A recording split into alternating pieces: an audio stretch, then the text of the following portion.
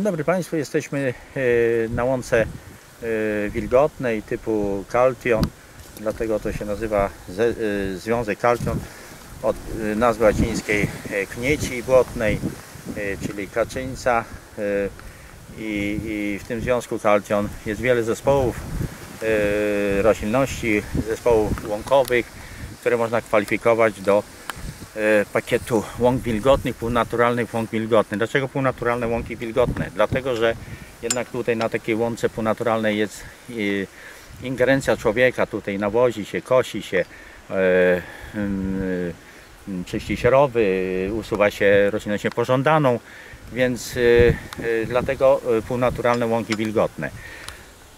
Na takiej łące w pakietach rolno-siałyskowej klimatycznym programie od roku 2014-2020 możemy realizować y, zarówno y, w obszarze natury, jak i poza naturą y, pakiety siedliskowe, czyli y, pakiet pod y, 4.4, pakiet y, mm, 5.4, takie mają symbole i tutaj użytkowanie koniecznie na takich łąkach, bo są mm, położone akurat tu w tym miejscu na torfie. Są to łąki wrażliwe na wszelkie zmiany, więc y, y, wymagane jest użytkowanie kośne. Dopuszczalne jest jedynie, y, może być jedno kośne na podłożu torfowym, jeżeli ekspert dopuści, a na generalnie dwukośne łąki. Z tym, że jest możliwość użytkowania również częściowo pastwiskowego po pierwszym pokosie, po 15 lipca. E, Można e, też dodatkowo wypasać w nie- niewielkiej obsadzie 0,5 DJP na 1 hektar. I za taką łąkę wilgotną tutaj e, agencja płaci 911 zł za 1 hektar prawidłowo użytkowanej łąki. Na takie łące można nawozić do 60 kg w czystym składniku azotu. Jest zakaz stosowania pestycydów, środków ochronnych, chyba że ekspert zaleci e, e, punktowe zniszczenie e, ch- chwastów e, gatunków inwazyjnych, e, to wówczas e, można to robić. E, Nie wolno przeorywać, podsiewać. e, e, Oczywiście e, trzeba zostawić te 15-20% e, w tym programie e, kiedyś było 5 do 10%, obecnie e, powierzchnię niewykoszoną na areałach powyżej 1 hektara. Na y, działkach do 1 hektara nie ma potrzeby pozostawiania powierzchni niewykoszonej. I tutaj na takich e, łąkach warto się przyjrzeć, e, żeby rolnicy się przyjrzeli swoim własnym łąkom. Jeżeli występują te podstawowe gatunki typu, typu ostrożeń warzywny, bądź występuje nawet roślina wyróżniająca łąki wilgotne. W tej chwili jest ich w kwitnieniu y, kuklik z Wisły. To jest y, gatunek wyróżniający zespołu y, Związku Caltion. Y, Możemy spokojnie wejść na tą łąkę i myśleć o tym, żeby sporządzić tutaj dokumentację przyrodniczą przez eksperta przyrodniczego. Jakie gatunki na takie łące są wskaźnikowe? No więc to co już wcześniej, y, podstawowy gatunek y, ostrożeń warzywny, y, rdes wężownik, te wszystkie y, różowe, biało-różowe takie kłosokształtne y, roślinki. Y, Dalej y, mamy, dość często się też zdarza y, pępawa błotna, oczywiście wilgotne stanowiska, tu nie widzę, ale jest też firletka. E, e, e, Tutaj mamy również firletkę e, jako wskaźnikową. e, Ostrożeń błotny. Pokażę jeszcze, widzę tutaj sitowie leśne. Jest tych gatunków na naszych łąkach oczywiście rośliny storczykowate, wszystkie, e, które są pod ochroną, e, również wchodzą jako te e, gatunki wskaźnikowe. E, tych gatunków można na naszych łąkach wskaźnikowych znaleźć około 10-11. E, również z tych takich gatunków, jeśli chodzi o turzycę, turzyca mm, Carex nigra, czyli turzyca pospolita, e, e, Carex kespitosa, czyli turzyca e, darniowa, e, tutaj. To są dwie z które również e, często występują na naszych łąkach i można je jako wskaźnikowe rośliny y, pisać. Żeby no jakby taką łąkę kwalifikować, to musi być wykonana ekspertyza e, przyrodnicza przez eksperta e, przyrodniczego. I to jest jeden, jeden z warunków, żeby rolnik mógł uczestniczyć w takim programie e, rolno-środowiskowo-klimatycznym. Co jeszcze można powiedzieć? E, Można zobaczyć, że na takiej łące występują też gatunki y, inwazyjne, niepożądane, typu trybula leśna. Jeżeli ona występuje, no to wiadomo, ekspert e, oczywiście zaznacza i każde koszenie e, takich łąk ogranicza e, ekspansję tej trybuli leśnej. Z innych gatunków może e, czasami też wystąpić e, trzcina i każde koszenie takiej łąki, użytkowanie ogranicza, e, ogranicza e, tą no, ekspansję tej trzciny i wracamy do właściwego stanu użytkowania, wracamy do właściwego stanu jakby gatunkowego składu runi łąkowej. Jakby pierwszoplanowym takim zadaniem użytkowania tej łąki jest korzystanie z niej w sposób taki, że jako karma dla zwierząt paszowo, więc tutaj ograniczenie tego nałożenia do 60 kg czystym składniku niczym nie ogranicza tutaj jakby, jakby e, tutaj e, specjalnie planowania, bo e, raz, że pozyskujemy paszę, a drugie utrzymujemy no, te siedliska w należytym stanie zachowania i o to właściwie chodzi. Chodzi o to, żeby walory krajobrazowe województwa pomorskiego były właśnie takie na siedliskach mąkowych, dolinach rzek, e, zachować je dla e, każdego, kto chciałby no, e, e, się e, tutaj e, no, odnaleźć, odpocząć, e, popatrzeć, e, bo nie wszędzie można spotkać takie e, e, zespoły roślinne, a tutaj na naszych łąkach e, oprócz tych gatunków, które wspomniałem, również e, pełnik europejski występuje, również e, e,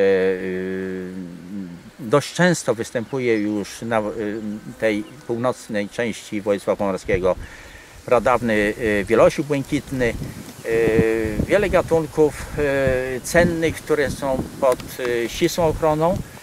Często też na takich łąkach pojawiają się takie bardzo e, mocno uwilgotnione miejsca, mechowiska. Te nie są w programach rolno-środowiskowych w tym roku, e, w tym pro- prowie 2014-2020 uwzględnione, ale warto również zwrócić na to uwagę, że mam takie, gdzie możliwość jest ewentualnie o podszyciu mchów i występują rośliny wskaźnikowe typu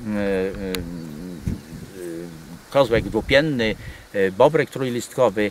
E, Są to gatunki e, bobrek trójlistkowy pod częściową ochroną. Często występują e, storczyki na takich mechowiskach. E, I warto takie siedliska szczególnie e, e, cenić i zachować je, użytkować, nie pozwolić na zakrzaczenie, bo one bezpowrotnie już e, e, zostaną zapomniane i nie wrócą do e, naszych e, jakby zasobów e, e, przyrodniczych to właściwie oprócz tych gatunków, które mówiłem, jeszcze może mm, y, ostrożeń y, błotny, y, około 10 gatunków można przynajmniej tu na tej łące zebrać tych wskaźnikowych. Y, Łąka bogata, różnorodna, to jest ponad 30 gatunków w tym miejscu można by było zidentyfikować, ponad 30 gatunków. Wówczas można powiedzieć, że, że taką łąkę jak najbardziej kwalifikować do tego e, wariantu, pakietu 5.4 bądź 4.4. I e, e, jeżeli tych gatunków jest kompo, kilka, kilkanaście, to takie siedlisko jest e, zdegradowane. Należy stopniowo przewracać do użytkowania kośnego, a te gatunki będą się pojawiać z roku na rok, a potem po kilku latach można przystąpić do takiego e, e, pakietu, e, e, o którym mówiłem wcześniej. Oprócz e, tych e, walorów siedliskowych typu skład gatunkowy, fitocenoza, tutaj te gatunki, które występują, jest to, ta bioróżnorodność determinuje, że Tutaj y, występują również, y, są tu siedliska lęgowe ptaków dla krzyka i derkacza. Krzyka już w Polsce jest coraz mniej, on ustępuje. Derkacz występuje, ale również jest objęty y, tą całkowitą ochroną przyrodniczą. Jest na liście tych gatunków. I te dwa ptaki dopłatowe, krzyk bekas i derkacz, tutaj mają doskonałe miejsce do lęgów. E, y, Tutaj na tym siedlisku około 70 hektarowym, tu jest kilka e, par lęgowych e, derkacza, jest tutaj krzyk. Oczywiście derkacz już swój lęk wyprowadził, ale niewykluczone, że wyprowadzi jeszcze kolejny lęk, tak żeby można, on jako jedyny z, tych ptaków dopłatowych powtarza lęgi. Natomiast krzyk właściwie już zakończył swoje no, e, lęgowe działania. Na pewno już są lęgi są zakończone i ten 15 czerwca jest takim można powiedzieć nawet troszeczkę mm, za wczesnym do koszenia tych łąk, bo obecnie jeżeli już e, te lęgi nastąpiły krzyka, to są to małe pisklęta i i być może jeszcze mm, wpadłyby w kosiarkę i mogłyby y, zostać y, te lęgi utracone. Ale e, zwróćcie Państwo uwagę, y, niektóre zadrzewienia, zakrzeczenia są istotne też dla innych ptaków, typu y, y, pokąskła na przykład, y, która występuje na wilgotnych łąkach, świergotek występuje tutaj na wilgotnych łąkach i te ptaki tworzą tą całą no, bioróżnorodność, nie tylko układ fitocenoza, ta układ roślinny, ale również e, e, ta, e, e, te siedliska lęgowe ptaków są bardzo istotne i to jak najbardziej niewykaszanie tych łąk doprowadzi do tego, że te ptaki nie będą miały możliwości tutaj prowadzenia swoich lęgów, a w konsekwencji będzie to jakby martwa część powierzchni tutaj naszej, naszej gminy. E, Także e, zwróćcie Państwo uwagę, łąka wilgotna jest siedlisko dla ptaków, łąka otwarta przestrzeń jest siedlisko dla ptaków. Nie są to e, powierzchnie dla ptaków małe, 2-3 hektarowe. Mm, Przede wszystkim przestrzeń otwarta dla tych naszych dopłatowych krzyk, derkacz, ale oczywiście to wszystko musi być na obszarach OSO, na obszarach Natura 2000, ale obszary y, specjalnej ochrony ptaków. Również czajka, ale czajka nie na takich siedliskach, czajka na siedliskach e, innych, użytkowanych pastwiskowo. Oczywiście, jeżeli są na, e, e, specjalny, na, na obszarach specjalnej ochrony ptaków. I te trzy ptaki dopłatowe mogą funkcjonować na obszarach wiejskich, w dopłatach rolno-środowiskowo-klimatycznej. Y, W tym siedlisku zwracam uwagę na krzyka i na derkacza. Inne siedliska, zupełnie inne siedliska to czajka. I te trzy ptaki w województwie pomorskim mogą funkcjonować y, swobodnie na takim y, siedlisku. Jeżeli, mm, jeżeli nie jest możliwe zakwalifikowanie do pakietu siedliskowego, a jest to na obszarach OSO, to możemy zakwalifikować do e, ptasiego. Warunek dla tych naszych, e, dla naszych e, e, ptaków typu krzyk to są zastoiska, są e, niskie turzyce i to są idealne, woda stagnuje cały czas lekko i to, to jest idealne warunki dla lęgowości dla krzyka. Natomiast dla derkacza również może być wilgotna łąka, ale łąka z wyższą nieco roślinnością, taka jak tutaj widzimy nawet Ta trybula leśna sprzyja e, e, występowaniu derkacza, bo on się czuje bardzo bezpiecznie e, pod taką wysoką roślinnością jemu bardzo łatwo się tutaj przemieszczać. Proszę Państwa, jeszcze istotną e, e, sprawą w zakresie użytkowania tutaj, prawidłowego użytkowania e, tych siedlisk jest e, wykaszanie. 5 do, 15 do 20% e, areału powyżej 1 hektara, e, jeżeli są działki, to 15 do 20%. Bardzo ważny jest sposób wykaszania, czyli nie wykaszanie od zewnątrz do środka, bo w naturalny sposób chcemy też dodatkowo oprócz, nawet jeżeli jesteśmy e, w tych e, pakietach siedliskowych typu tutaj tej fitosonos e, tutaj roślinnych, to musimy pamiętać o tych wszystkich naszych również ptakach, które tutaj świergotki mają gniazda w, runi, krzyk ma gniazda w runi, derkarz ma gniazda w runi, więc e, ale oprócz tego wszystkie nowo wyklute pisklęta również się przemieszczają i wykaszanie od środka na zewnątrz powoduje to, że one się e, rozchodzą e, na zewnątrz i nie zostaną zniszczone przez kosiarkę. I to jest bardzo ważny, bardzo ważny element tutaj użytkowania. Starać się tak kosić, żeby to wykonywać od środka działki rolnej na zewnątrz, bo w wielu przypadkach też rolnicy e, opowiadali, że e, koszenie e, do środka powoduje to, że ten ptak niestety nie wyskoczy, zostaje przez kosiarkę zniszczone. Także, ale pomijając ptaki, również inne zwierzęta, które występują, mogą to być młode,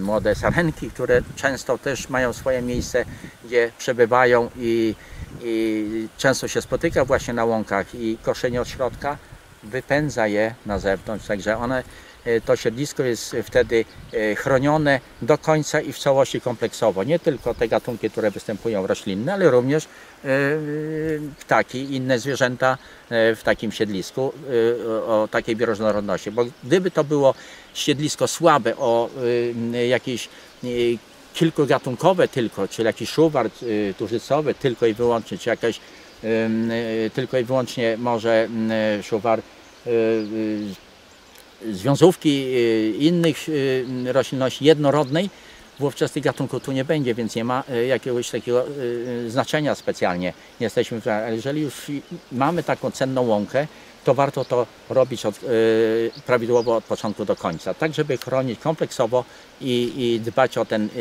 e, fragment e, e, ekosystemu łąkowego tutaj w tym miejscu. To tyle, dziękuję bardzo.